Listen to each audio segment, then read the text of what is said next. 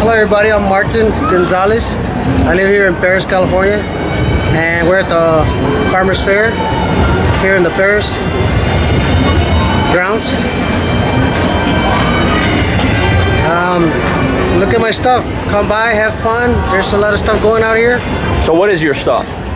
My stuff is all the junk items that I make into different uh, sculptures. I'm with uh, the Metal Corral. Um, I work with him. His name is Arturo Castellanos out of Rosarito. And that's some of the sheet metal that you see here.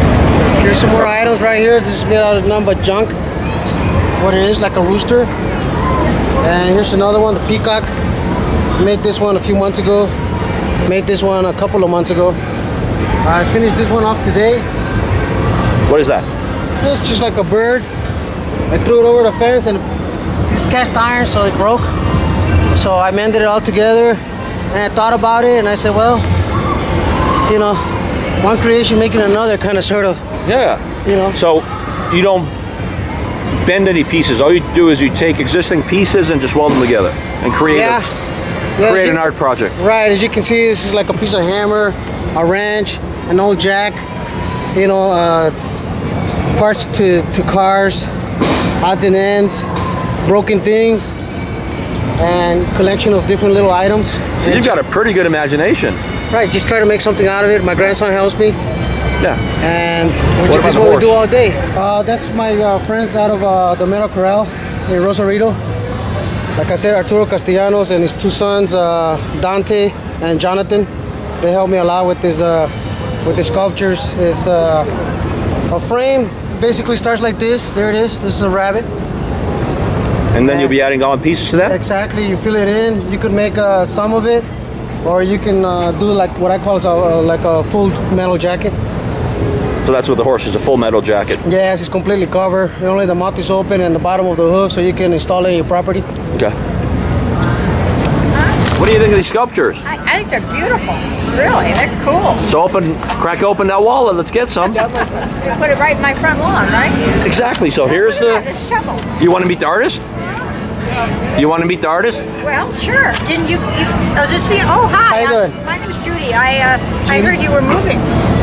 No, that's somebody Oh, else. you're somebody else. oh, okay. I didn't know No, there were two yeah, people that did this work. yeah, I'm getting confused a lot with the, The other guy, bigger huh? competitor. Yeah. Yeah. Well, sorry. yeah, my stuff is uh, his stuff is nothing but sheet metal, and I use more like the junk pieces.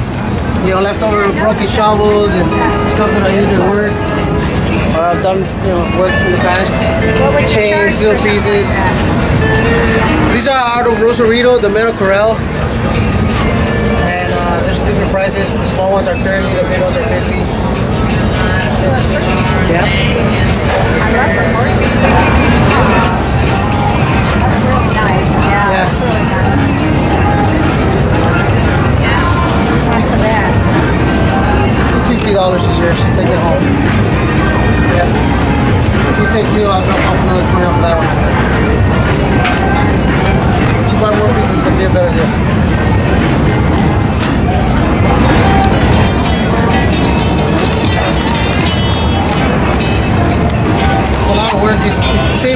Making a really big one, you know. See that? Yeah, I'm like eight miles away from here. Okay. Okay. Yeah, I like the. I like the. It's a little warm. Are you sure you don't want me to wrap it up for you? No, I think they're. This is one of my horses right here. You know, So what pieces chains, you use? A little bit of everything, as you can see, just to try to give it a little bit of what it should look like. So it's not a full covered, full metal jacket. No, you could always add more to them. As I find pieces, I add more to it. So it's just more work and uh, a little bit more detail. So of course the price got to go up a little bit. Depends how it comes out, you know. So if I pick this horse up today and I want more pieces on it, you could come out and add pieces to it? You yourself. Yeah, even if you have a special piece from, you know, maybe your grandparents or your mom and dad or something, you know, of course we could, you know, incorporate it somehow in there. Okay. Yeah. All right, so what do you got behind the horse? Uh, a lot of animals, different things. So what's that dinosaur on the wall? Yeah, it's uh, so you can put it on your wall. Some people just want to they don't have enough space for something like this bigger item over here. So they'll take a partial. Right.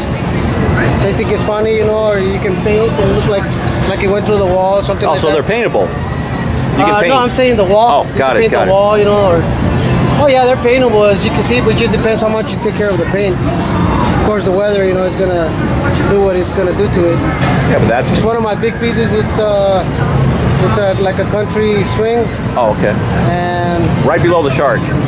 yes, sit down, relax, you know, after Oh, that is nice.